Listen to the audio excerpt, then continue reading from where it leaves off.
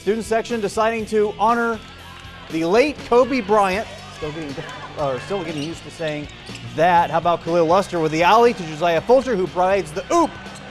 Lima Senior up by 15 at one point. How about Luster again distributing down low to Dante Wheeler, and Wheeler getting the easy shot. A couple minutes later, now Wheeler driving in strong, getting the hoop and the harm on that play. St. John's trying to come back, would mount a little bit of a comeback.